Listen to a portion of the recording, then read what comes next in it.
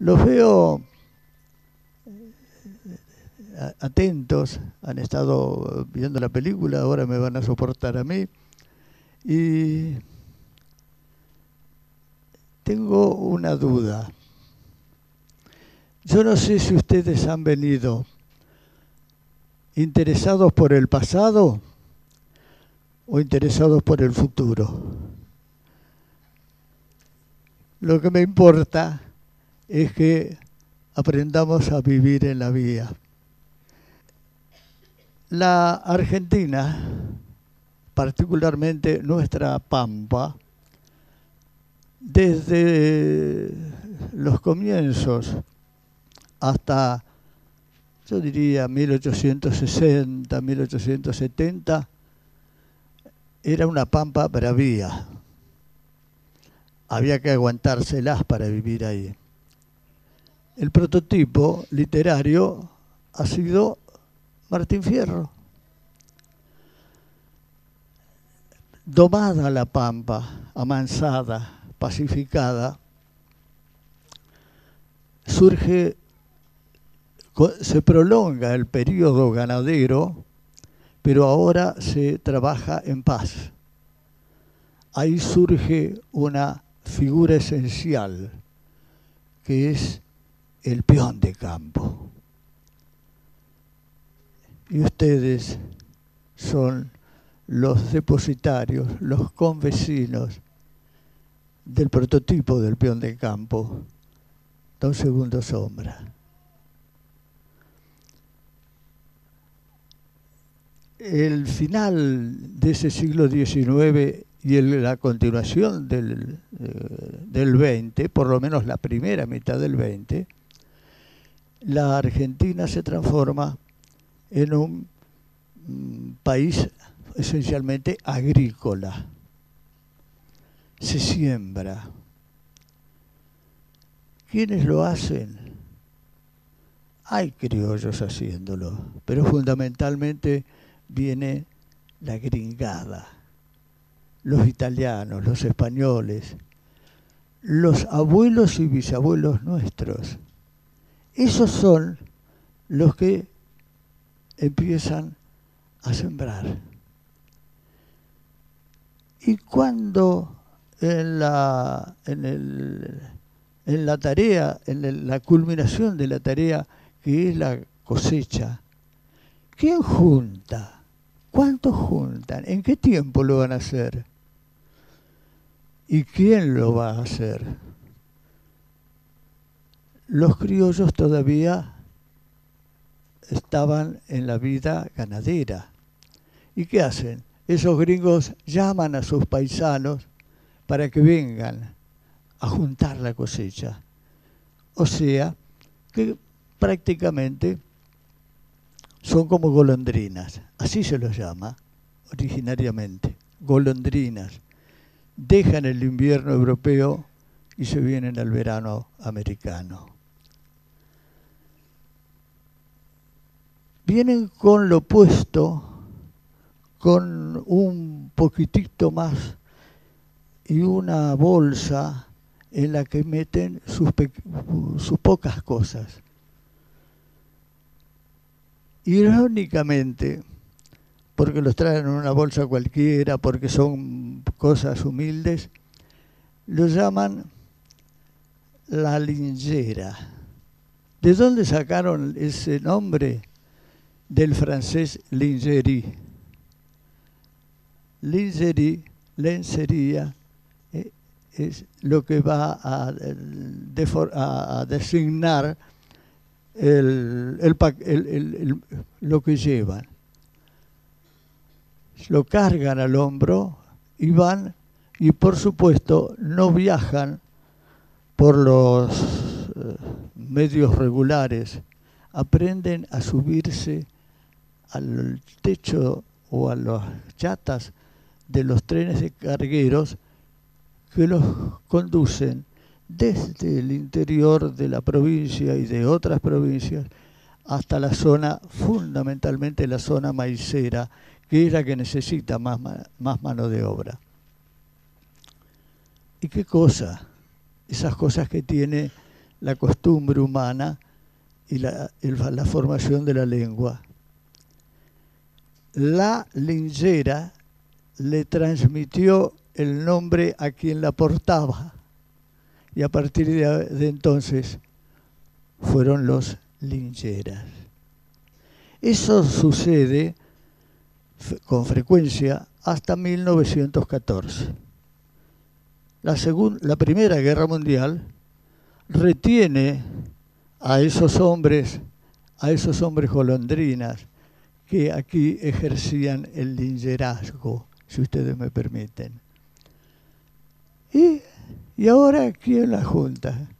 ¿Quién va a juntar el maíz? ¿Quién va a manejar la guadaña para eh, cortar el trigo? Y se produce una gran demanda de mano de obra. Y esa mano de obra no se recluta en los centros eh, eh, agrícolas solamente, se reclutan en todo el país. Porque en esa época, en los pueblos del interior, las oportunidades de trabajo estable eran mínimas.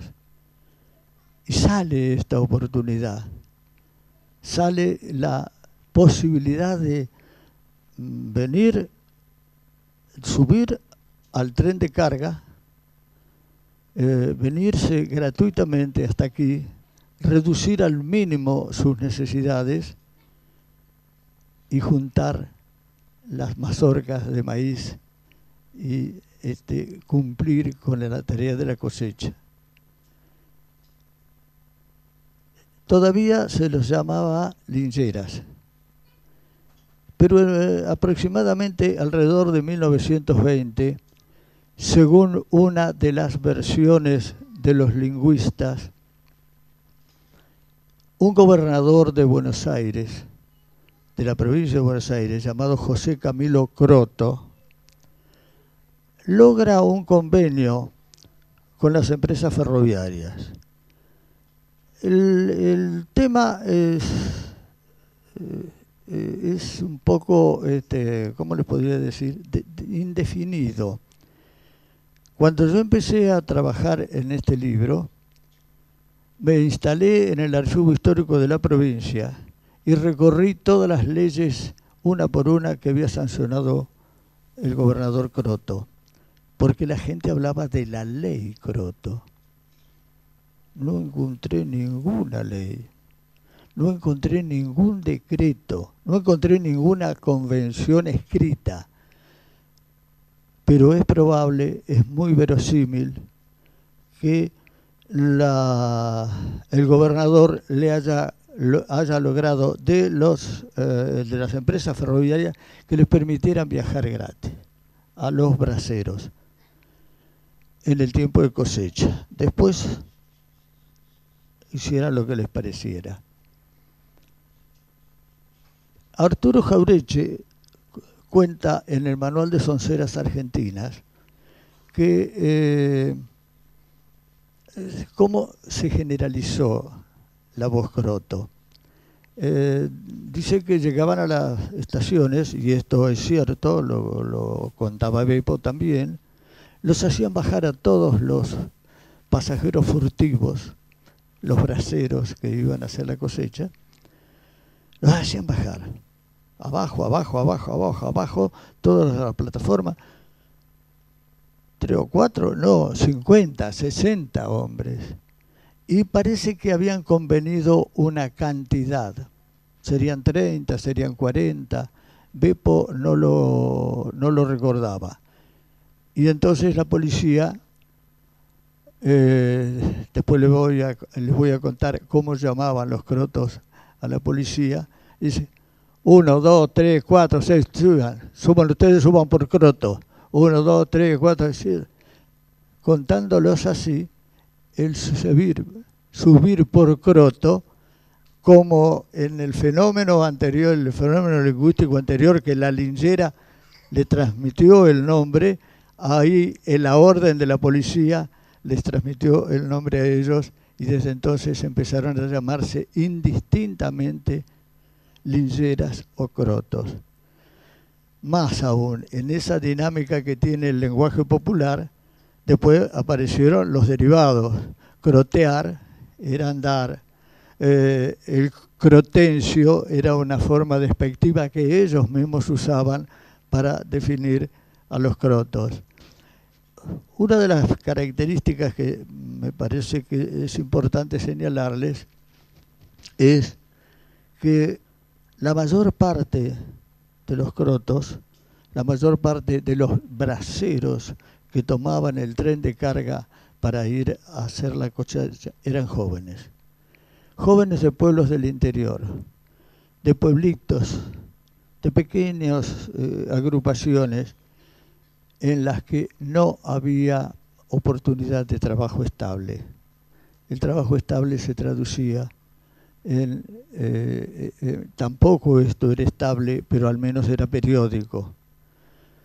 Y acercándose el tiempo de la maduración, el verano, los principios del verano, enfilaban sobre los trenes cargueros que venían hacia aquí, hacia lo que es el norte de la provincia, el sur de, eh, de Santa Fe y de Córdoba, donde era la, la zona maicera por excelencia en esos tiempos.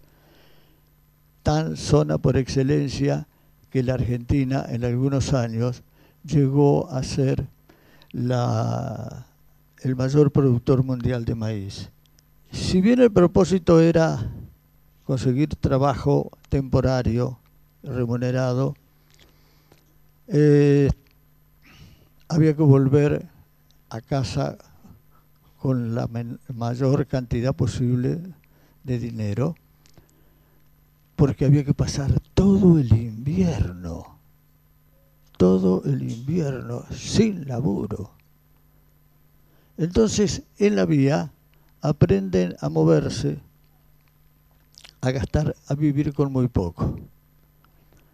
Ya se ahorran el pasaje, eh, se ahorran el, alojamiento porque aprenden a dormir y a esperar al costado de la vía, los refugiados en los terraplenes, refugiados en los protegidos por el reparo de los galpones que se encuentran en el ferrocarril.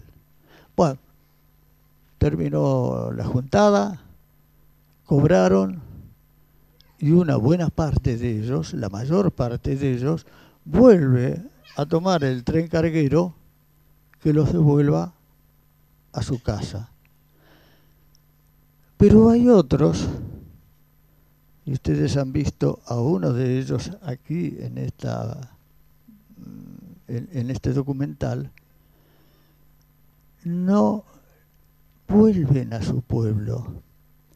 Su pueblo, su hábitat es la vía. Vuelven a la vía, vuelven a vivir en la vía, a vivir todo el año, a vivir a veces toda una vida. Y naturalmente va creándose una especie de comunidad de gente que establece por costumbre leyes y normas de vida en forma especial.